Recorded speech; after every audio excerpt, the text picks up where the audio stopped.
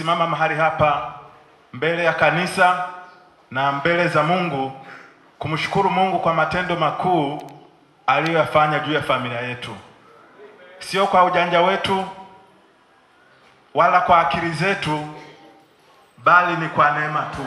Haleluya! Ah, tunamshukuru Mungu kwa sababu nimeshasema kwamba ni kwa neema na wala sio kwa ujanja wetu. Mungu ni mwaminifu. Katika madhabahu hii tuliomba kupata usafiri, tayari Bwana ametenda.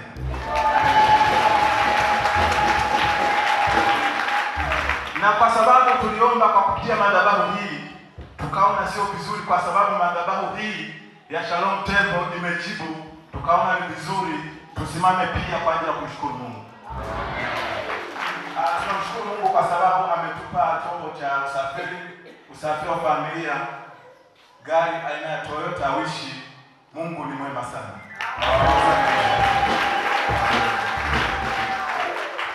Bwana sifu sana. Amen.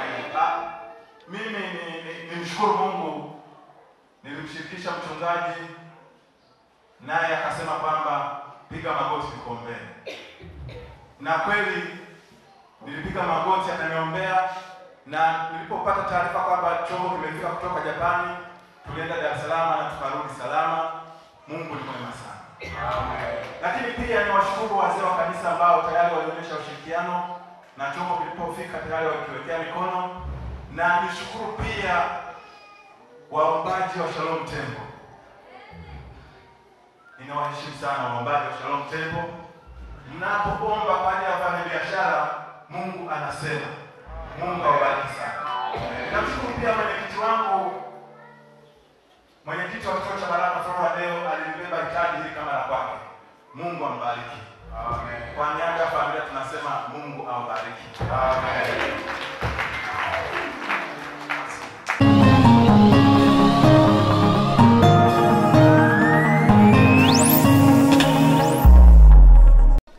Kwa majina ninaitwa Frederick Amoni, ni mshirika wa kanisa la FPCT Shalom Temple hapa Kahama mjini, lakini kituo ninachotokea ni kituo cha Baraka eneo la hapa Kahama Majengo, lakini pia kanisani nina huduma, nina huduma, mimi ni shemasi hapa kanisa la Shalom Temple, lakini kwenye kituo chetu cha Baraka Uh, mimi ni katibu wa kituo cha Baraka.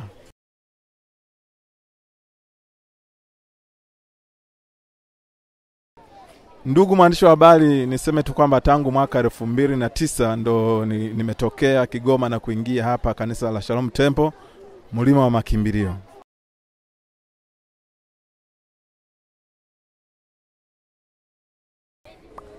Katika vitu ambavyo vilikuwa viko nje na mawazo yangu ni pamoja na hii gari. Sikutarajia kabisa kwamba nitakuwa mmiliki wa gari hata siku moja, kwa sababu familia inayotokea ni familia maskini sana.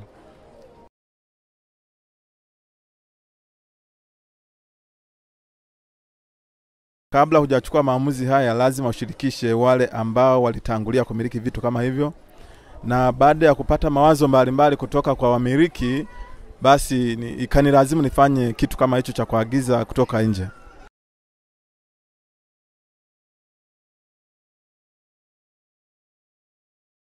Uh, unap, ya, ya, ya. Niseme kwamba unapoagiza kutoka nje unakuwa na uhakika wa kile kitu ambacho unakiagiza kuliko gari kuikuta showroom na uwezi ukajua kwamba pale imefanyiwa matengenezo gani, imekaa pale kwa muda gani. Kama unavyojua Watanzania, biashara zetu ni biashara za uswahili swahili. Kwa hiyo kitu kama hicho kinakufanya basi uwe na maamuzi mengine, uagize kutoka nje.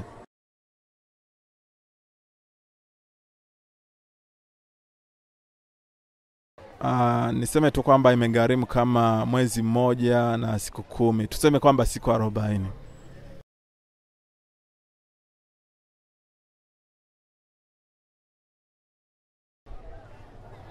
Uh, niseme tu kwamba nili, niliangalia kwenye mtandao lakini pia nikachukua nika, nika ushauri kutoka kwa watu mbalimbali, marafiki zangu wamiliki wa vitu kama hivi, na baada ya hapo nikajiridhisha. Ili, ili nichukua muda kufanya maamuzi kama haya, kujua kwamba ni kitu gani ambacho kinahitajika sasa niweze kukifanyia maamuzi ya msingi.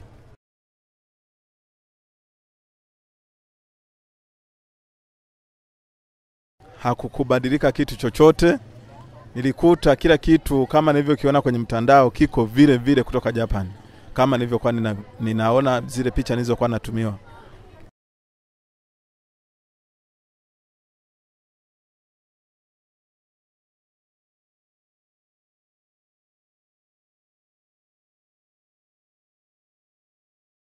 Labda nikuhakikishie tu kwamba hivi vitu tumevipata ni kwa neema, si kwa ujanja wetu kama nilivyoshuhudia, wala si kwa akili zetu. Kwa sababu hiyo sasa, Mungu ametenda muujiza katika familia yangu. Hiki kitu kitaendelea kutumika katika kazi ya Mungu, si ndani ya Shalom tu, hata nje ya Shalom pia inaweza ikafanya kazi. Tumepewa bure na tutoe bure, na ndani ya kutoa kuna baraka pia zinaongezeka, mtumishi.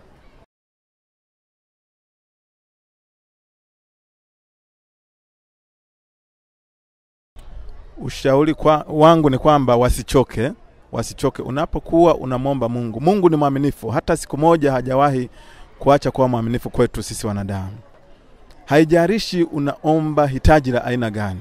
Mimi niseme tu kwamba, ndugu mwandishi wa habari, kuna watu wanadanganywa, wanaenda kwa manabii na mitume kwenda kununua chumvi kwa ajili ya upako, kwenda kununua sabuni, kwenda kununua mafuta, wanaenda wanaacha baraka hapa mlima wa Shalom Temple, wanaziacha baraka hapa. Mimi niseme tu kwamba hapa Shalom Temple ndiyo majibu yalipo, na watu wasikimbie katika ku, ku, ku, ku, kwenda kwa manabii na mitume mbalimbali, wakati majibu yao wanayaacha hapa hapa. Ni washauri wana Shalom Temple kwamba majibu yao, haijalishi wameomba kwa muda gani, Mungu ni mwaminifu na ipo siku atajibu mahitaji yao.